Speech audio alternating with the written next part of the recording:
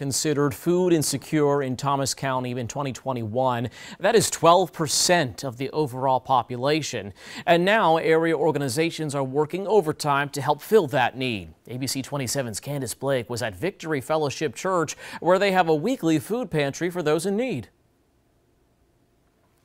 They could use more because there's a lot of people in need who need help. Meet Hattie Taylor. She heads up the Faircloth food site one of 30 distribution locations for the YMCA's summer feeding program. Your sister ain't coming? Mm. Oh, okay. Taylor's seen the need for food firsthand. She says they often give out 70 lunches within an hour. Scared they don't want to be on camera either because normally they be on camera by now. In 2021, over 5,000 people were considered food insecure in Thomas County. That's 12% of their overall population.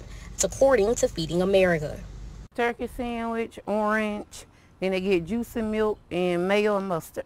The need spread throughout Thomas County, prompting multiple organizations to help fill that need, but they need a little help to do it. We could provide a lot more. We have a lot of generous people and a lot of people who want to support what we're doing and we could provide for a lot more people if they came. Victory Fellowship Church has been running a food pantry for over 10 years, giving away 650 bags so far in 2023. Brian says that she believes they could help even more people if people knew about them.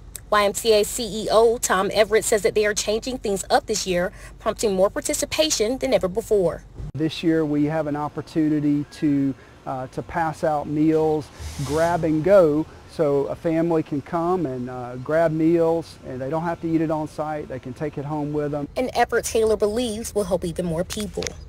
They just have to go out there and try to get the resource that they need. Candace Blake reporting there. Victory Fellowship gives out free food every Tuesday morning from 9 to 11.